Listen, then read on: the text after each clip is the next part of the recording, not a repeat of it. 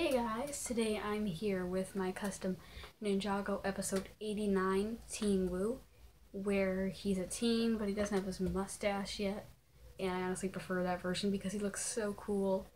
So, um, yeah, I hope you guys like it. Don't forget to subscribe.